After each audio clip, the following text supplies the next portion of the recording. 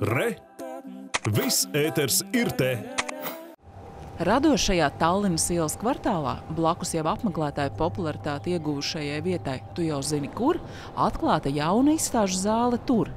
Izstāžu un performanču telpas nosaukums veidots no trīs kuratoru vārdu pirmajiem burtiem, aizsākot notikumu ciklu saukšanu saudzējot. Viens no tiem virsmērķiem ir veicināt šo savstarpējo sadarbību. Un tajā pašā laikā arī uh, sadarbību starp dažādām formām, dažādām mākslas uh, izpausmēm, un mēdījiem, un materiāliem un tehnikām. Un to darīt tajā pašā laikā, vienam otru respektējot cieņpilni. Un, jā, tad tas tiek ietverts vārdā saudzējot. Un kā tad mēs varam tās attiecības veidot, uh, balstoties un centrējot ap, ap rūpēm un tādu cieņpilnu līdzās būšanu. Mākslinieku pāris Kata Krola un Rēnis Bērziņš kopīgi izveidojuši izstādi par sevi – lēna cūka dziļu sakniroka. Tā atklāja viņu jauno dzīvi laukos, dzīves un darbu cikliskumu, kā arī vienlaikus absurdas rīcības. Tas ir sācies ar to, kad uh, pārcelšanos jā, uz uh, laukiem. Jā, laukiem uz tādu nosacītu primitīvāku vidi un sākšanu.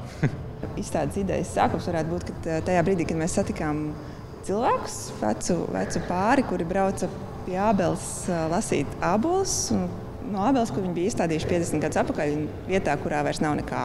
Tad viņi atnāca ar veselu vēsturi par to vietu, par to apkārtni. Izstāde saucās Lēna cūka dziļa sakniroka. Tā mēs tur dzīvojam tajos laukos. Izstāžu cikls tiks organizēts procesuālā formā, vienai nomainot otru bez pārtraukuma. Mākslinieki aicināti ne tikai strādāt ar telpu un objektiem, bet veidot notikumus, kas iesaistītu cilvēkus un atklātu tapšanas procesu, ļaujot skatītājiem pašiem būt par daļu no darba. Piemēram, uzkāršot vilnu. Kopumā ir, ir, ir ļoti, ļoti jauks tas koncepts par to, kad, kad cilvēki nomaina to, kā viņi ir dzīvojuši līdz šim, un tad viņi tā kā par to ir spējīgi arī parādīt citiem, tas, kā viņi skatās uz to. Tas man liekas diezgan skaisti. Ir sanācis arī būt viņu lauku īpašumā, kas laikam ir kalpojis eh, par lielu iedvesmu šim darbam. Tad es eh, jūtu jā, to procesu, kam viņi ir gājuši cauri, kur tiešām ir tas eh, koks un vilna un zeme. Un tas viss ir kaut kā arī gleznās uztvērta tā sajūta. Ienākot telpā var just mieru, ko ir iespējams izjust bieži vien tikai laukos tādā rimtā darbā. Tā ir mana interpretācija šeit, un arī izmantotas skaņas un materiālitāte. Jaunajā izstāžu ciklā nākamā stafete pārņems dzēniece Marija Luīza Meļķa, bet pēc viņas Edis Šautens, Kirils Ēcis un Jana Jacuka. Notiks arī performances, lasījumi un koncerti.